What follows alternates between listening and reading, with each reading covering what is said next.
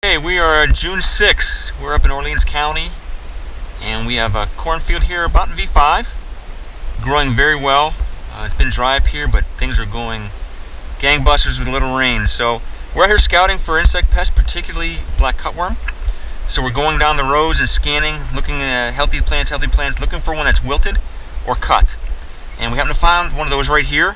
This one here has uh, been fed upon. Uh, you can see, you pull it out here, you can see the dead dead tissue where the, the black cutworm had crawled up in here and has hauled this out, so he stayed kind of below ground. So now we got to find him. Is it truly here? Is he still here? So you want to look for some gaps or somewhere where this guy's hiding. They're nocturnal, so they're hiding during the day. And we see this plant he's been feeding on underground. And we want to lightly just pluck this up and look for the, the cutworm hiding in close proximity to that cut plant.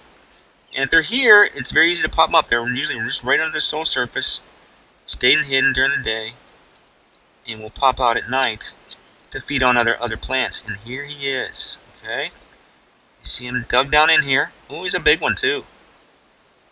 Okay, there is the black cutworm, hiding curled up underneath there during the day, and he's feeding on this plant, actually below ground, very protected from natural enemies and such. But there he is. So he's about uh, probably an inch in length. Um, again, has that dark black gray look to them. Uh, look very closely. You know, there's some some black dots going down the side, spiracles where they actually breathe from. But he's uh, he's small for a black cutworm. He'll probably get uh, inch and a quarter to inch and a half at full length. And so at this point here, he's probably just uh, at an inch he could do more damage. This plant, though, these plants though are getting fairly large. And V5, usually at V6, they can't cut them anymore. These plants' bottoms get too thick, and they do exactly what he was doing here, is actually hollowing out um, the plant stem. Now, this is almost gone, so he's probably going to go to another plant fairly soon, one of these adjacent ones here, and start feeding on those. So what we want to look for again, the wilted plants, dig very, very gently next to the plant in the soil, and you will find uh, the culprit here, the black cutworm.